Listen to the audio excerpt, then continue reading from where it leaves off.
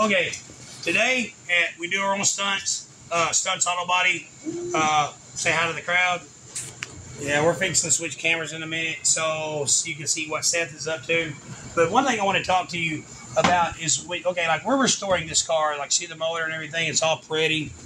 Uh, we have blocked and blocked and blocked till our arms fell off. This car, I want, I want this car to be like a show, like my my opus, you know. But one thing I want to say is, if you're in, if you want to build your own car, okay, there's no such thing as a perfect car, but there is such thing as critics. Everybody's a critic, right? So if you go to build your own car, and I want to give you some advice today on uh man, beware of some of some some pitfalls in building your own car. For one thing, I want to say when you watch the YouTube channels and you see these people like they'll buy a bunch of new everything. They'll get an old car and they'll strip every bad thing off of it, and then they'll go to these providers of aftermarket parts and they, they weld it back together and shazam, they got a brand new car. You need to understand is, is these channels, these channels are allowed to cherry pick their aftermarket parts.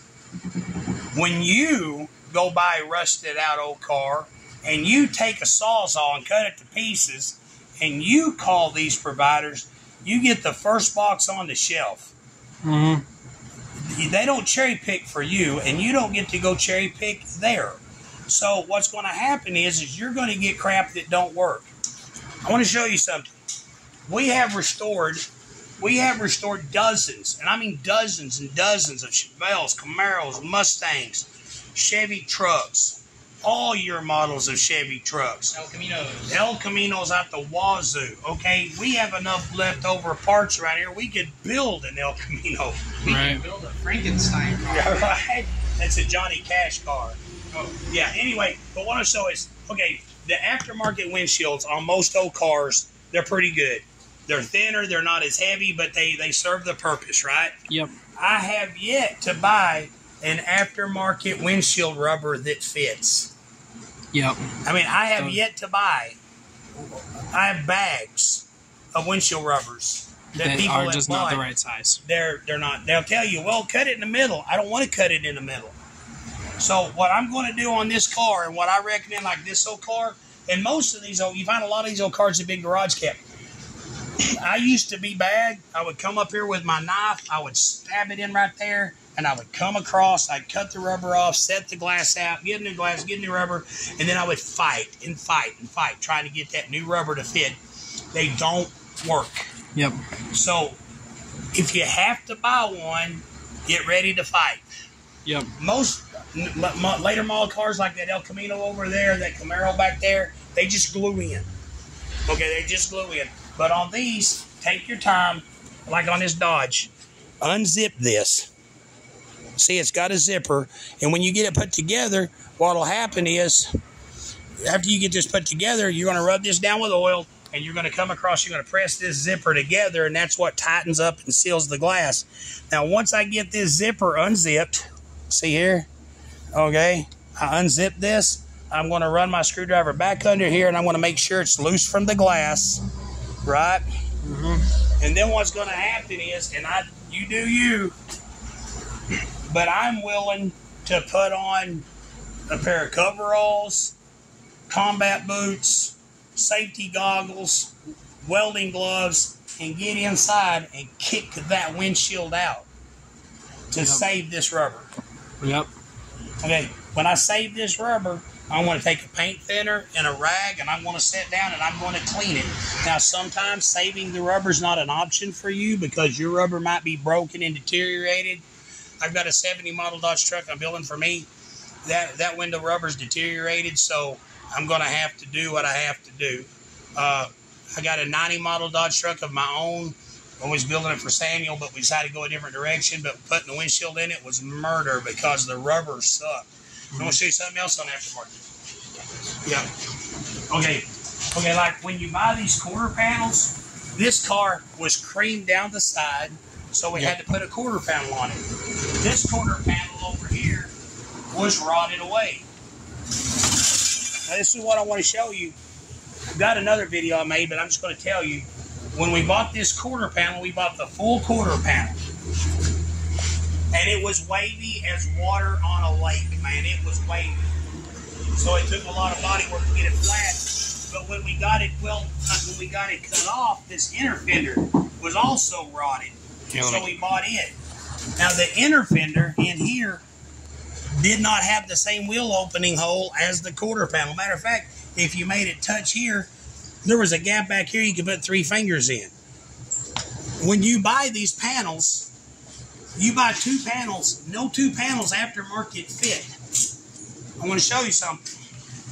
This is a 1970 Roadrunner we're doing. Now, this was the first time I ever went into an extensive thing like this. The old car was not too bad, bad, but we had to put this quarter panel in because it had went something that creased down the side and turned it inside out. Now, come on, I'll show you something. This is a brand new quarter panel. I put it on with the door on, so Right. it fits the door perfectly. It come up here, it fit this, it fit this pretty good. I mean, I had to do a little bit of work, but we got it welded on. I set it the edge with the trunk, but look here. When I bought this panel, this is a new quarter panel. Mhm. This is this new tray, right? Yeah. See how it lines up here? But look, man, that's three quarters of an inch off down here. See the gap there? Yep. Now, see, I got a good quarter inch gap right here on my trunk. But that, look at that.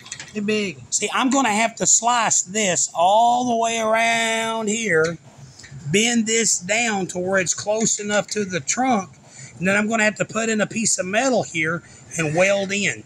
And what I'm getting at, what I'm getting at is if you think that you're going to go cut your car into pieces and then go order all your parts, that's not going to happen. That's not how it works. So what we did after learning that lesson now, a lot of these old B-body Dodges, this is all rotted out. This this is classic B-body rod. Man, go ahead and buy the new panel. Go ahead and buy the new quarter. But when you do, get ready to slice off the parts you need. If if you buy this, if you have rot here, if you have rot here, don't cut out this whole tray. No. Cut this piece off, replace that part. If you have rot here, you can buy that piece that goes here. Don't cut out your whole quarter. Replace just what you need to replace. Right. Since this right here, mean, uh, that had a little bit of rust earlier, and what an, a previous shop had done was they just cut out that rusty spot. They did a good job and replaced that with metal and left the tray. Okay, so what we done is because because we didn't want to start whacking all this up because this aftermarket's never going to fit like this. All of our damage was down here low. Don't ever buy a partial. If you buy the partial, it's never made right. Go ahead and spend the money and buy the whole quarter panel. It costs more, pay that. It don't matter. Because if you buy the partial, you're going to have problems. So what we did was we bought the whole quarter panel and cut it off right there on that body seam. I didn't, uh, and you'll see this if you go back and watch the first Fast and Furious movie, where Dom takes Brian into the garage to show him the Charger. You're looking at the chromed out Hemi. It looks great. But if you'll back up and rewind and focus on the car, you will see a series of spot wheels right down this quarter panel. So when you buy that crimping tool that has the spot weld plug and you boom, boom, boom, and you overlap that metal, it, that's the way they tell you to do it. But what'll happen is, is because there's two layers of metal, it will heat and shrink different at temperatures in the sun. And sometimes at some temperatures, you will see your welds. What we did here, we cut it on that line. I took my time with my MIG welder and I welded that solid. From there, there is no overlap. That's a solid butt weld all the way down. You get up inside of it, you can't see it. I mean, it looks it looks good. So, uh, I just want to say, man,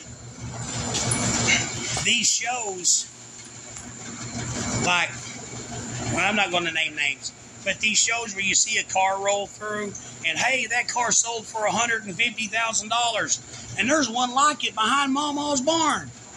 So you go buy it, drag it up, cut it to pieces, max out your Visa card or your Capital One or whatever, buying a bunch of crap, and then you're in this deep on a project that you get disheartened, you want to give up because people like me, I love to go on Marketplace and find a project where somebody has given up and buy it at 25% of what it's worth. Where somebody else has done bought all the parts. My brother in law one time paid $1,700 for a 68 Mustang with all new interior, two new quarter panels, two new doors. That was Ford leftover parts. I mean, they, were, they weren't after my doors from Ford. And it had a new fender, it had a 289. I mean, somebody had bought the project, invested thousands of dollars, and they realized they were in over their head. So one thing is, is do not let, do not let these people selling these parts allow you to get in over your head. They'll they'll do it. They will sell you all the stuff because once you bought it, they're done with you. Whether or not your project gets fixed, they don't care. So, like I said, for one thing, don't project in over your head.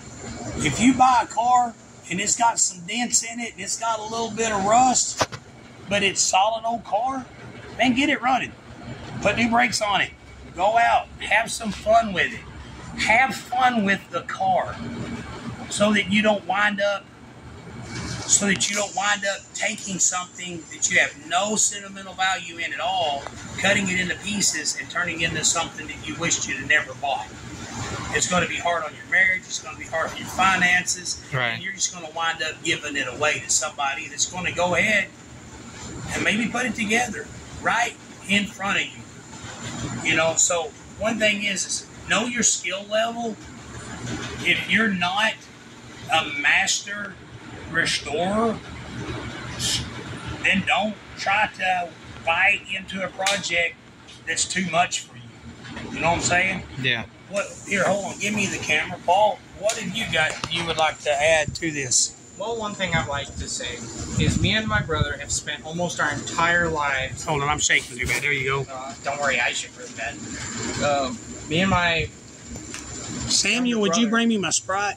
have spent almost our entire lives uh, learning this as a trade, and we're probably not even half as good as our dad. Look But you know, we we do you know we still do what we can. But the thing is, is if you're not able to do like show car material, if you're not able to make your project into a show Thanks. car, don't get discouraged when you can't, because making a show car is is not a fun hobby task. Mm-mm. You have to be a professional in order to do it. Yeah, it, I am a professional, and I'm still learning how to do it. being a being a perfectionist takes the fun out of it. Yes, exactly. So the thing is, if you're wanting to like make some money off of it or whatever, you know, you do have to kind of be a professional, but you don't have to make a show car in order to. Okay, let me interrupt you for a second. The car we're building right here is a show car. The customer's putting the money in it to make yes, a show car. Yes, this is going to be a show car. How many donuts is he going to do in this car? Zero. How many burnouts is he going to do in this car? Zero. How much fun is he going to have in the car? Zero. Now, how- he'll have fun He'll with have the fun car. With the car. Taking it somewhere carefully, babying it to a show, Exactly. parking it under a tree. He's not going to take it up to the drag races. You know? Right? If you want to have fun with the car and it still look good, you can do that. You can't make. There's a difference between a good-looking show car and a show car. Well, how For perfect was the- the green car? Green car wasn't perfect at all. No, y'all painted over dents and everything. exactly. Yeah, that No. more fun with So that here- car than the thing is, if you want to have fun with a car, it doesn't have to be show car quality. right. That's the main thing. Well, if for car guys out there that like stomping the gas, you don't have to make it perfect. Yep. Yep. And it, and the deal is, is there's always going to be critics. You need to understand the better your car looks, the harsher the critics are. Yeah. You know, and if you if you don't like critics putting your car down, you need to understand. Okay, I want here take this right quick. I want to tell y'all a story, and then we'll we'll end with that. And thank you for joining us. Honestly, if you like our channel, man, please click like and subscribe. We're we're up to seventy something subscribers. That's awesome. 72, We Man, appreciate it so much. Uh, if, you, if you would, man, share this video. Uh, I know we're a little bit different. Uh, we're hickish out the wazoo, but We're good people. everybody needs to get out of the wazoo, right? Hey, ev at least everyone around here likes us. So if that gives you a good indication, We are very famous in our town of 500 people. exactly, we are very locally famous. There But you go. I want to tell y'all a story. Talking about that taking a car apart. Don't go. I took a car apart one time, and I haven't yet put it back together. I took it apart 20 years ago, but it's mine. But but uh, one thing is is uh, are you good? All right. Sorry, I just have. That's all right. Uh, but anyway, when uh, I bought a car for parts, I have a 1972 Satellite Sebring uh, 440. Man, that thing was a lot of fun. But I, I had drum brakes, and that scared me. So I bought a car because it was a 72 Coronet, and it had disc brakes. Uh-huh. So the guy had a lot of money invested. It was another one of those where a guy invested thousands of dollars in a project that he decided to uh, not finish. So he sold it to us as a favor, but very cheap. Right.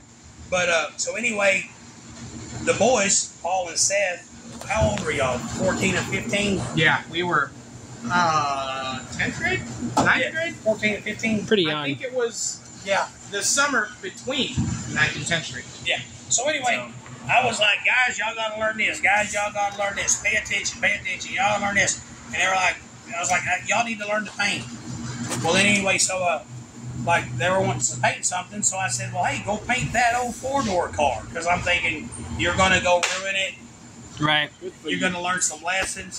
So what they done was they brought the car in. They didn't fix it in. They DA'd it. Samuel got in on some of that. I got a video of Samuel when he was like this tall out there with a DA. Whoa, whoa, whoa. It was so cute. That's so cute. So this what we did was. What are you filming? It was like this tall. Oh yeah, His point of view. his point of view. But uh, now he's taller than Paul, Yeah. right? But anyway, they pulled the car up to the door. They didn't even pull it inside. They, they sanded it with 240 to DA paper. We painted the top with spray on bed liner so it looked like vinyl. Right. Uh, took every ounce of green paint in the shop, mixed it together. I've told this story before, but I'll tell it again. But uh, we're fixing to start. Matter of fact, I got a hold of the guy in Minnesota. We, he still has the parts. He's just waiting on us. Nice. So, uh, but anyway, uh, they mixed all the green paint together, painted the car, dents and all. Well, anyway, by the time I realized, man, this car's going to look pretty good. We painted it flat black. We masked off some digital stripes, like a Hemi car, you know, new new, new car, Yep. kind of like an AAR style. And then I painted the hood black, put the dual scoops on the hood. They painted that thing green, jacked it up, put 50s on the back, put a wing on it. It went from being a parts car to a priceless. Artifact. Yeah, a family heirloom. But what was funny was everywhere I went, you drove it down the road, people would pull up beside you and just thumbs up.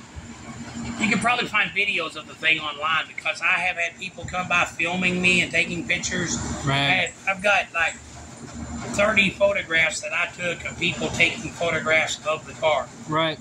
So this four door car, jacked up with 50s, and people didn't even realize it was a four door. It was so cool. Mm-hmm. Every once in a while, you would have that jerk purist. You're getting a phone call. I am from who? Oh, I'll call him right back. All right. This, you'd have these jerks would come up. Man, too bad it's a four door. Too bad it's a four door. And, and I'm like, every, but those people were so few and far between. Most of the stuff, and this is funny, man. I've told this story, but I pulled up at a gas station one day, and this little boy about this tall was jumping up and down, screaming, "Mommy, mommy, mommy! Look, look, look, mommy! It's a race car!"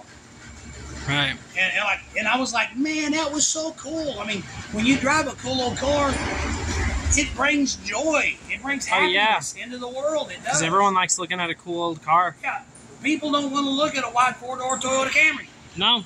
no, we have one, and I forget it sometimes. And no one walks up to us. Can I take pictures of your four door white Toyota Camry? Yeah, like No. man, your minivan rocks my world. But I had never funny seen a blue one before. right? But I got to tell you this. One day I was I pulled in at Casey's in Batesville, and I pulled in. I'm getting gas, and this dude sitting there next to me, and I could see it in his eyes. He's pumping gas in his white four door Nissan Maxima. Right. Yeah. Like it's like a Camry 2.0. I mean, you know, it's still just Right. It's just a car. it's just a car. Nobody's going to say. I mean, I would not have said anything to him about his Maxima, right? Right, but you're not gonna have a kid go, "Mommy, mommy, look, a 2012 Nissan Maxima." Right. Like, no, you're not. oh, you know. So anyway, I pull up to the gas pump, and this dude starts shaking his head. He's pumping gas. He's looking at my car, and he's and I just I just ignored him. And he said, then he goes, "Man, I gotta ask you one question." I said, "Yeah, man, what's up?" He goes, "Why did why a four door, man? Why, why a four door?" And I, I looked at him, and I looked at his car, and I said, "You're driving a four door." Right. And he goes, "Well, yeah, yeah, but man, this is just my family car. This ain't my this ain't a hot rod." And I said, "Well, this is my family car, except mine's cool." right. And when I said that, he shook his head, and kind of looked down. I said, "You noticed it? Right. You know, I did not notice your White. white Nissan Maxima. Maxima." Ultima, whatever. Right. Four door. and he was like, white well, boring car. and and the deal was, here's the thing: if you want to build a project car, remember the movie Super, the TV show Supernatural, Yes. Yeah. four door Impala, Right. And everyone loves that car. and everybody loves that car, right? There's so no. Yeah. yeah, man. Long wheelbase pickup truck. We have a long wheelbase Dodge pickup truck, all painted. Everybody loves it, man. I get more compliments. So what I'm saying is, is when you go to buy a project car, like a '68 Dodge Charger RT, Right. Project car's thirty thousand dollars. Seventy-four Plymouth Satellite. Project car, two thousand dollars. Right. Find out, man. You can have a lot of fun with a project car. And I know our video's going way long, but the thing about it is, man, if you want to get into it, if you want to get into this hobby, don't don't tell people that you gotta have. Oh, you need a '69 GTO Judge. Right. Yeah. But a 72 Pontiac Le Mans can be bought for a fraction of the price. Right. And it still has the cool factor, Yep. you know. So anyway, uh, let me see that right quick. Yep. Uh, yeah, anyway, this is our first long video. Yes. Uh, we're, I've, I've uploaded some videos of a car I'm building at home. I've got the heads over here I'm porting, but this is stuff we're doing at the shop. Uh, we're fixing to go to Minnesota and get the parts to fix the green car. oh. The green car's a legend. Yes. Yes, and uh, but before we do that, we're fixing to pull. Paul's got a '73 Mercury Montego, painted up like Starsky and Hutch. We're fixing to pull it up, fix some rust in the floorboard. We'll take y'all along that journey. We're gonna put two Fosgate Punch 12s and a big Fosgate amp in it. Go boom! I'm pretty excited. Pretty excited. Okay, so guys, uh, tell everybody goodbye. Goodbye. Click like and subscribe, and, um, and subscribe. and uh, God bless y'all, man. this video around. Yeah, yep, Yes. yeah. God bless you guys.